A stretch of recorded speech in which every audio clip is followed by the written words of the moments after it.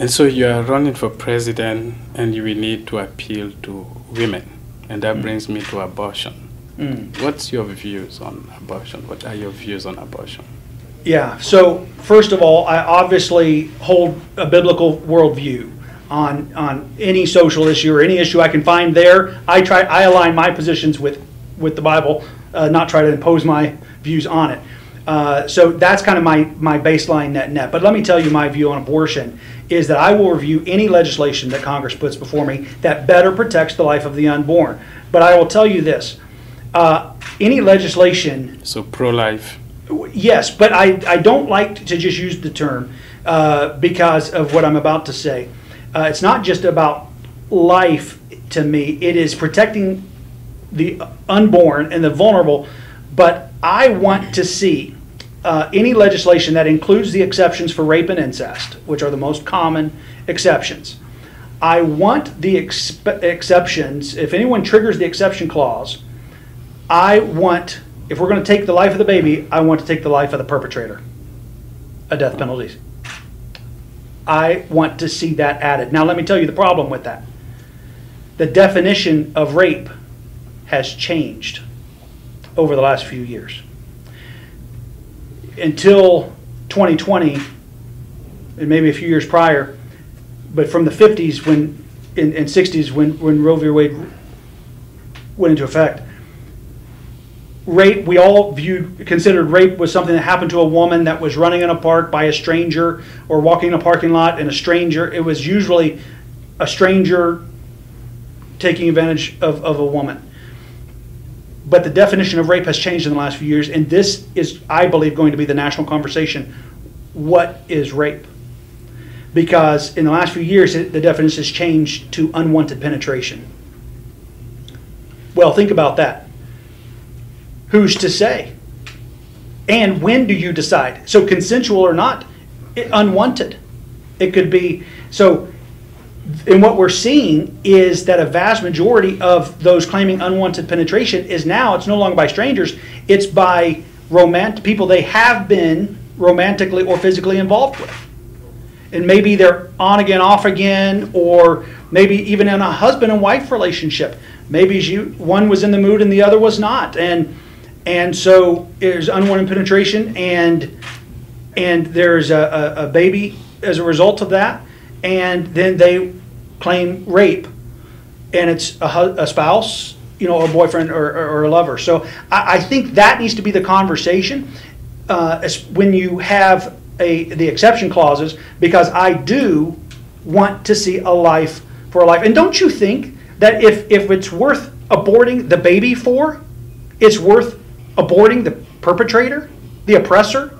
Okay, so you're against abortion, but without exception, with exception.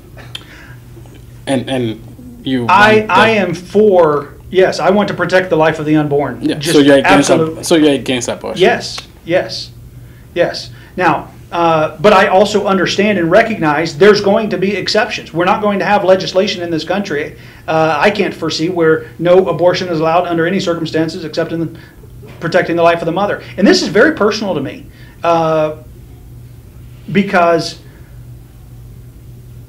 the Pfizer documents that came out said that the their vaccine was 80 to 85 percent uh, created abortion on demand. Basically, it was more 80 to 85 percent more effective than the abortion pill. We lost our first child, my wife and I, in the womb, probably due to that vaccine.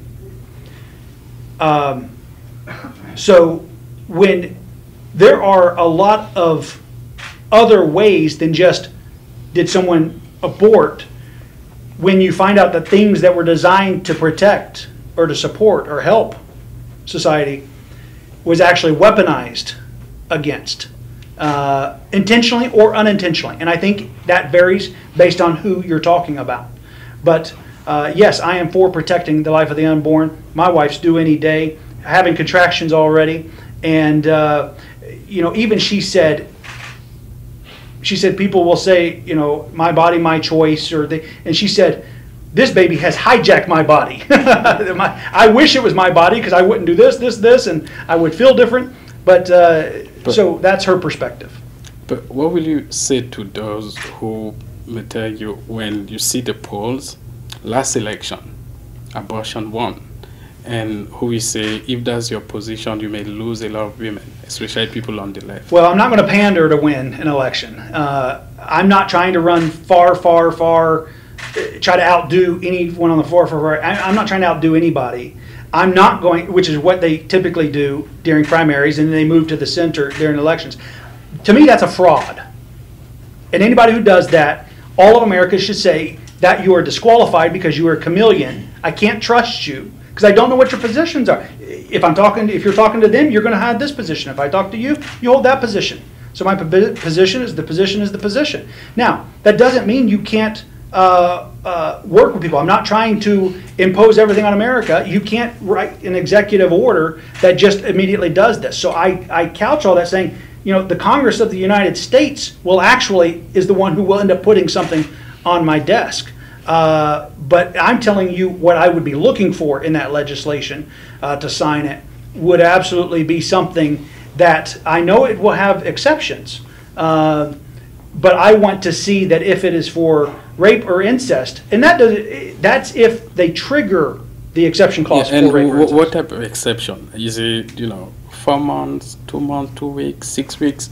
You know, everyone talks about six weeks. They talk about the, the, the number of weeks, and, and that is a little bit more nuanced because uh, the babies' hearts start beating at different times, and I, I was not aware of that. It's not like all babies at month uh, week four start beating, uh, but and I do s- b- understand that they uh, most babies' hearts do start beating by six weeks. Yes, I like anything that is the the tightest, the best way we can protect the life of the unborn. I do believe that. Look, I actually think you're talking about connecting with women voters. I think every mother out there appreciates someone who's at least going to protect the life of the unborn.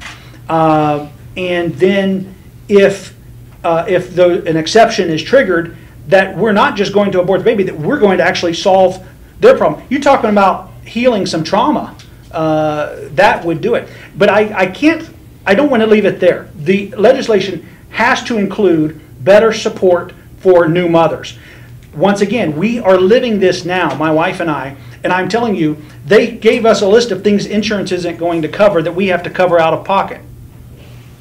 Well, how, how is a new mother who is uh, who can't afford to put feed herself, who's wondering how in the world can I afford to have this child? What is she supposed to do? She can't even afford to have the baby, much less take care of the baby. So government, I do believe that we have to have. And by the way, if we put more, all the money we put into Planned Parenthood and other organizations that promoted the other side into actual women's health to help them uh, have the baby, and if there was no cost involved to having a baby, uh, and there was support for that mother ongoing, I think more women would actually choose to see it through.